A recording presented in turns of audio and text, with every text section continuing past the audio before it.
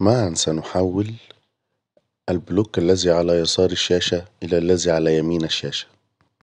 في البداية يجب أن تعلم أن ال linear bearing يتكون من الجسم البلي القضيب المجرى العلوي والمجرى السفلي وقطعتان لنهاية الجسم.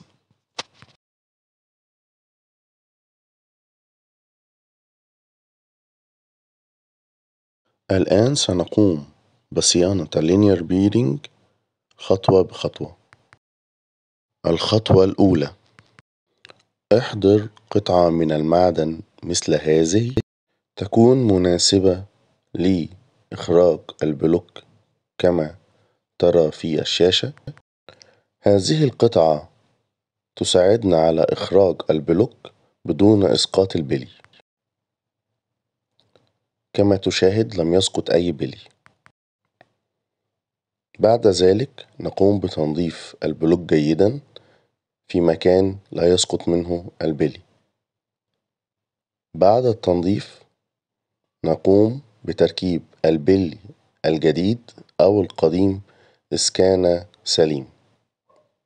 بهذه الطريقة سنبدأ أولاً بالمجرى السفلي.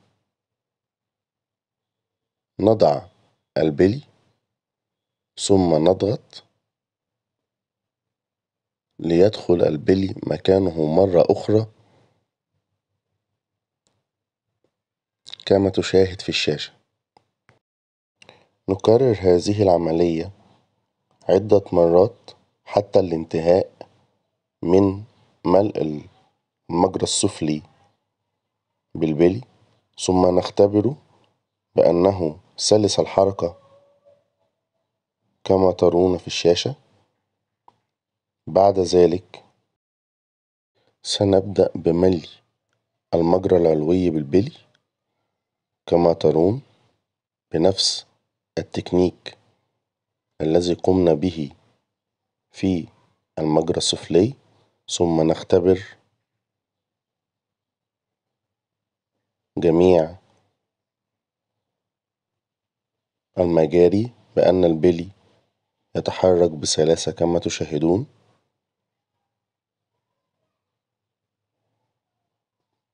هذا ال downstream. يتحرك بسلاسة باليد كما ترون. بعد ذلك نقوم بالتشحيم وذلك لتثبيت البلي لكي لا يسقط عند تركيبه على الريل. وفي نفس الوقت نقوم بتشحيم البلي ليكون سلس الحركة على الريل. الآن نركبه بهذه الطريقة. بهدوء. ندخله مرة أخرى على الريل.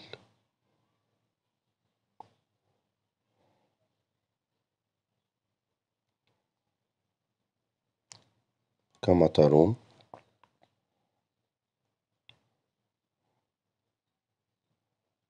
في هذا سنجد أن الشحم ساعد على عدم سقوط البلي وأن البلية لم يسقط منها أي بلي كما ترون سلس الحركة. شكراً للمتابعة.